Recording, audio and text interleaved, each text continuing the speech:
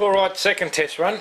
Um, okay, there was lots of confusion with the battery being up there, being charged while it was running and um, scope probes hooked up to the device while it was running and concerns of ground loops and all that kind of rubbish.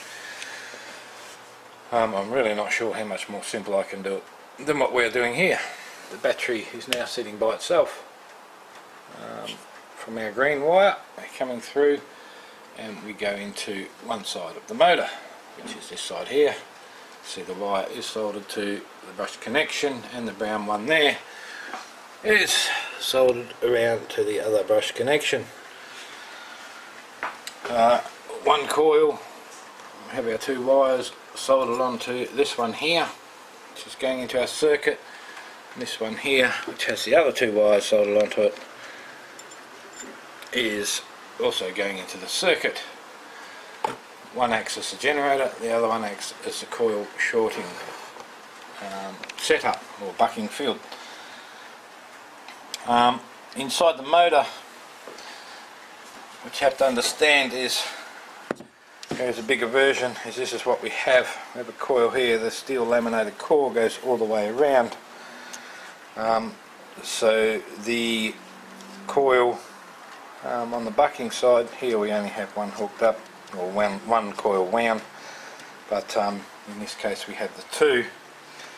So when this one shorts, um, it sends the magnetic field around both sides of the core and into the other one.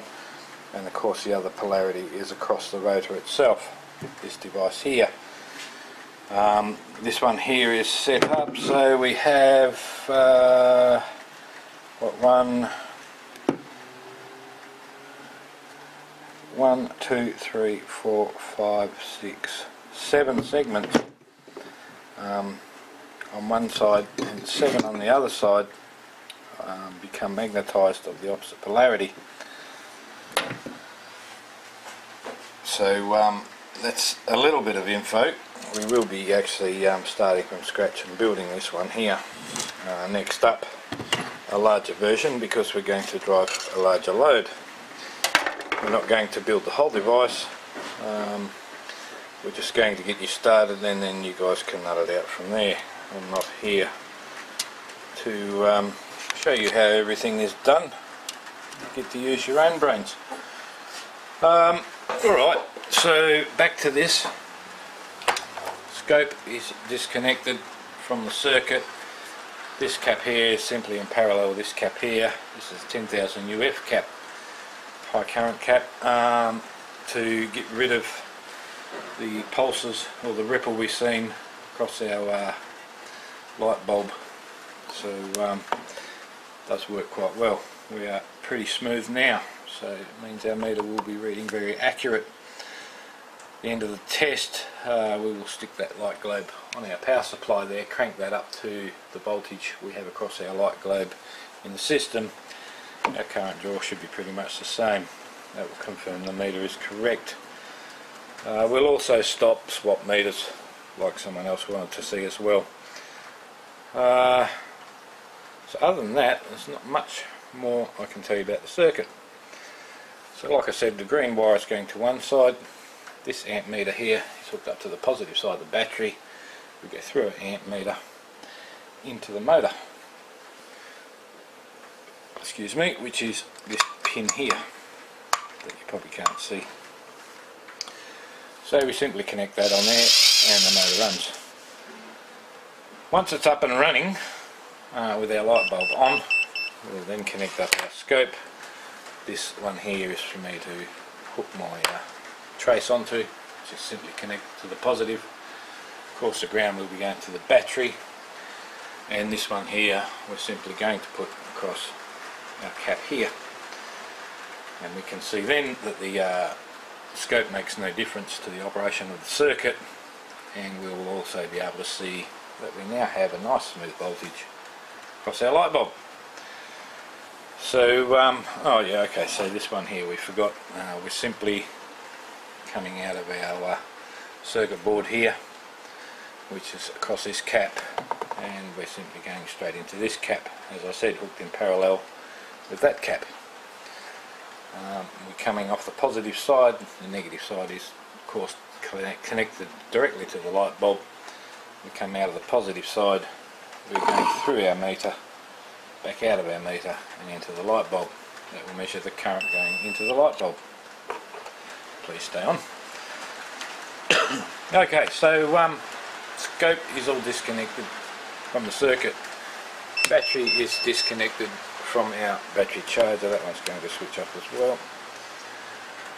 Um, so there is nothing connected to anything in regards to uh, mains and there is no means for any current loop at the moment to take place. So uh, we will hook our motor up, up and running. Of course no current, nothing going on the scope our scope is disconnected. 2.0 and it's dropping because the battery voltage is dropping. We're um, peeling off the surface charge at the moment. It will settle after a while but it will drop because we are drawing power from the battery and it is no longer being charged as we go. Alright, so um, we switch our light on. Now you might have heard that bulb down a bit harder than it did in the last test. That's because it's got to fill this cap up as well now. Um, and our light bulb is running nicely. So that is the current draw from our battery at the moment. That is the current flowing through the light bulb. As you'll see that goes down. This uh, will go up because the battery voltage is going down. Contrary to what it should be. But that is how it's working.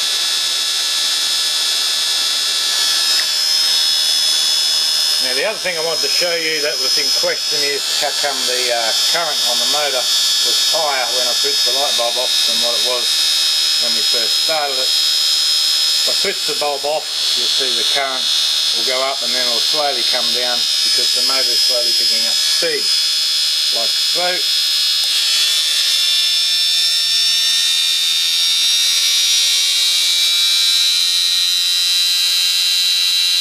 And there you go. Turn the light back on. And that's what we have. Okay, so now we're going to hook up our scope the battery. This may be a bit trick one-handed. But we have it. Nothing was changed there. Nothing's changed there. And we can now see the voltage across our battery.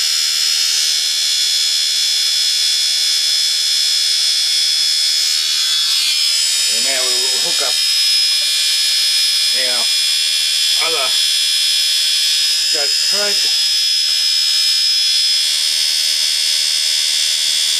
off our cap and you can see now with that larger cap we have a very smooth line.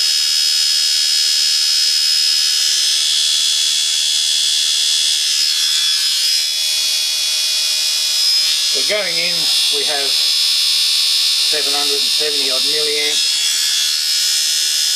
at let's say 13 volts, our maximum voltage.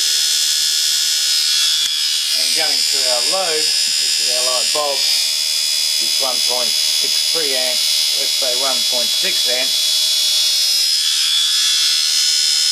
at our 10.4 volts.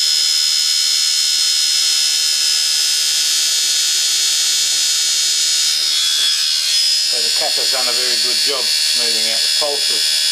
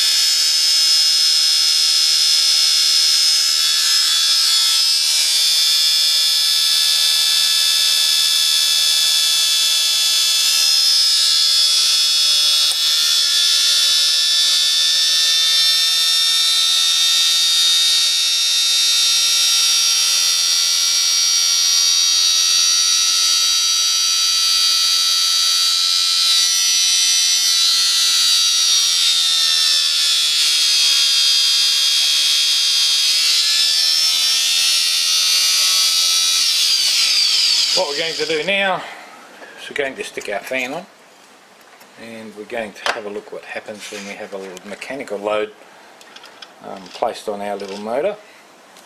Um, and uh, we'll be back once I get that fan on there. Alright so our fan is on. Um, we're about to start up, bit of paper on the back there for your entertainment. Just to show the air flowing. Um, of course we know it's going to draw more power and um, we may even end up with a little less available on our load but um, here we go anyway.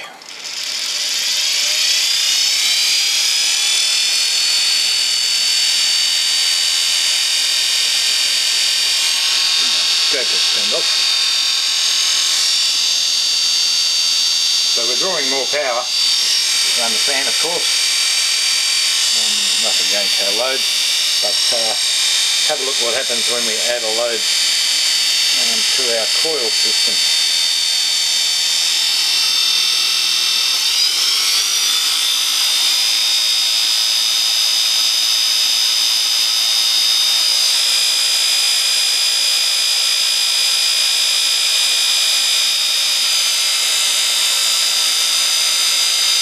Most the air is actually going, coming down the bottom.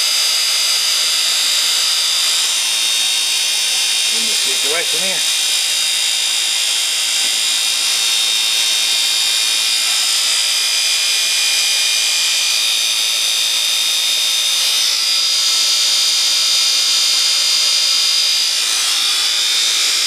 So now with the uh, fan as our load, 13 volts, plus our battery,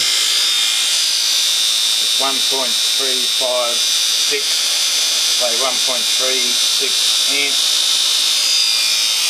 Um, now across our electrical load being our bulb we have 1.63 amps, 10.4 volts.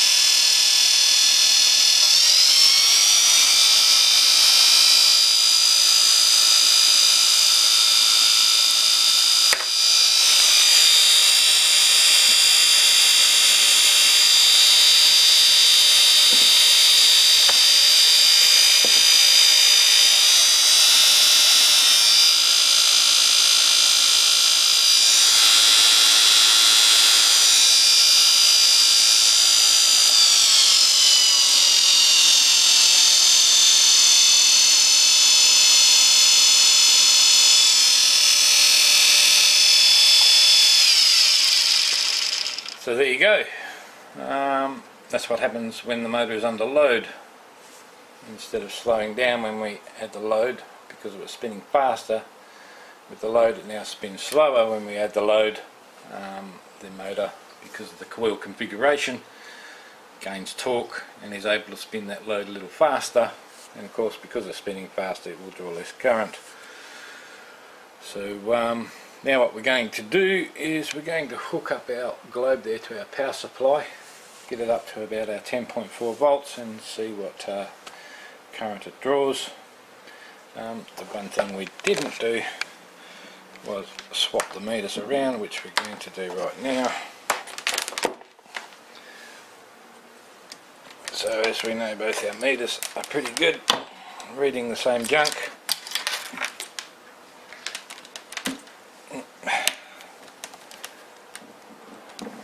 there, and there.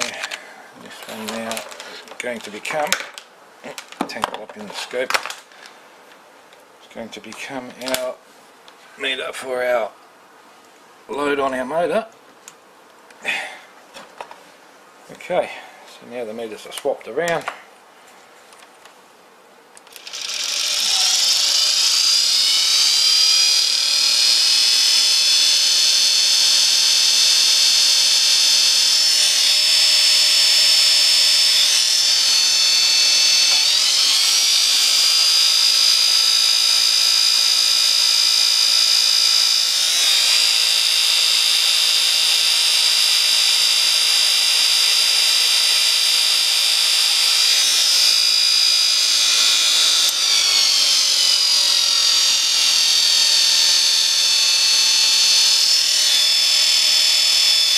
So much uh, so let's go ahead and we'll get it hooked up to our power supply and um, we'll have a little look-see at what's drawing what here. Back shortly.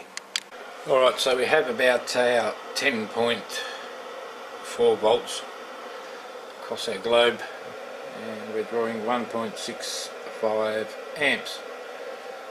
So um, extremely close to what we have on our generator and extremely close with current. So uh, it would seem that our uh, current meter was telling us pretty much well what we have.